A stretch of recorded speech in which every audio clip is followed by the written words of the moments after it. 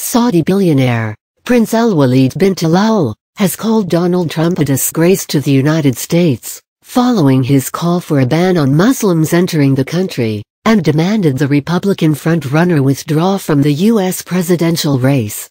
Trump triggered an international uproar when he made his comments in response to last week's deadly shootings in California by two Muslims who authorities said were radicalized. Trump's comments have already cost him business in the Middle East, with a major chain of department stores halting sales of his glitzy Trump home line of lamps, mirrors and jewelry boxes.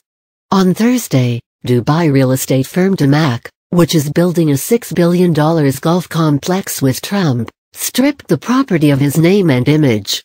Prince Alwaleed, a nephew of Saudi Arabia's King Salman, has holdings in a number of international companies, including Twitter and Citigroup.